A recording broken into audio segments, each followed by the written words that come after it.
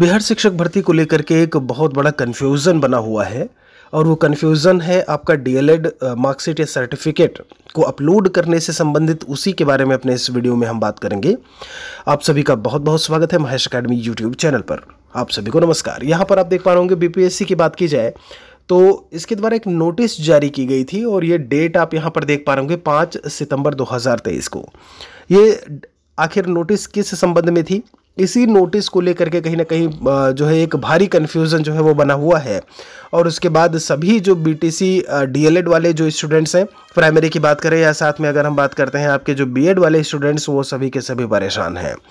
यहाँ पर आप देखेंगे इसमें विज्ञापन संख्या जो भी है, आगे देखिए इसमें क्या कहते हैं।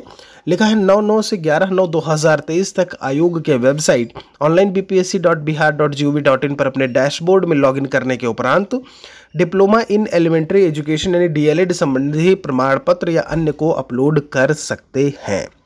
बस ये लाइन और उसके बाद जो दूसरी लाइन जिसकी शुरुआत होती है वो कहाँ से है? यदि किसी अभ्यर्थी द्वारा बीएड के प्रमाण पत्र को अपलोड किया गया है एवं डीएलएड का प्रमाण पत्र भी अगर वो धारित करते हैं तो वे डीएलएड का प्रमाण पत्र अपलोड करेंगे। मतलब दोनों चीज़ों को अगर आप पढ़ेंगे, आप केवल ऊपर वाले को इतना ही पढ़ेंगे तो आपको लगेगा कि हमें डीएलएड या उससे संबंधित अन्य प्रमाण पत्र को अपलोड करना है या अपलोड कर सकते हैं, ठीक है? लेकिन जब आप नीचे पढ़ेंगे तो आपको समझ में आ जाएगा कि ये नोटिस उनके लिए है जिन्होंने बीएड और डीएलएड या बीटीसी दोनों की डिग्री जो है वो धारण किया हुआ है। कई स्टूडेंट थे जिन्होंने अपने एलिजिबिलिटी में बी लगा दिया था। चूँकि आप सभी को पता है कि बी पर जो है वो ख़तरे की घंटी लगातार जो है वो आपकी लटक रही है, बज रही है, जो भी आप कह लें, ऐसे में एक सप्ताह में वो भी क्लियर हो जाएगा। तो चूँकि बीएड के लिए प्राइमरी में एलिजिबिलिटी ऐसे में माननीय सुप्रीम कोर्ट ने नहीं माना है, और यही कारण था कि यहाँ पर बीपीएससी ने जो है ये नोटिस दी हुई है कि अगर आपने दोनों डिग्रियाँ की हुई हैं, गलती से आपने अगर बीएड लगा दिया है तो आप उसको बीटीसी या डीएलएड कर दीजिए। ये किसके लिए है? जिन्होंने बीएड बीटीसी या डीएलएड दोनों की डिग्री ली हुई थी, लेकिन बीएड को अपलोड कर दिया डॉक्यूमेंट के रूप में कब जब वो फॉर्म भर रहे थे।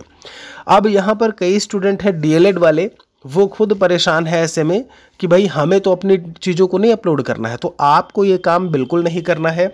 देखिए, इसमें अपलोड कर सकते हैं, अगर ऐसा करना होता तो वो आपसे जो पहले भरवाए थे, पहले आपसे अपलोड करवाए हैं, उसका क्या मतलब है? तो ये नोटिस आपके लिए नहीं थी, ये नोटिस उनके लिए थी जो दोनों ही कोर्सेज को किए हुए थे। ये चीज़ ध्यान रखिएगा। कई स्टूडेंट हैं, परेशान हैं, आज भी सुबह से मैसेज किए जा रहे हैं कि सर वेबसाइट नहीं चल रही है डीएलएड का सर्टिफिकेट कैसे अपलोड करें? तो भाई आप एक बार पहले कर चुके हो, आप एक बार वहाँ पर आपने ग्रेजुएशन 50 परसेंट मार्क्स जो भी है आपने वो सेलेक्ट कर लिया है, उसके बाद अब उसमें कोई दिक्कत, समस्या नहीं होनी चाहिए, फिर से कभी डॉक्यूमेंट अपलोड नहीं होता है कि एग्ज़ाम हो गया आपका, आप फिर से वो डॉक्यूमेंट अपलोड करवा रहे हैं, ठीक है? तो ये उनके लिए है, जिन्होंने बी एड दोनों डिग्री ली हुई है, अभी भी अगर आपका लगता, आपको लगता है, या मान लीजिए आपने अपलोड कर दिया है डी का सर्टिफिकेट फिर से। आपने किया हुआ था, फिर से कर दिया तो कोई इशू, दिक्कत नहीं है, लेकिन वो आपको नहीं करना है। ये चीज़ ध्यान रहे। कोई और सवाल अगर आपको लगता है कि है तो कमेंट सेक्शन में लिखिएगा हमारे लिए। शुक्रिया आप सभी का।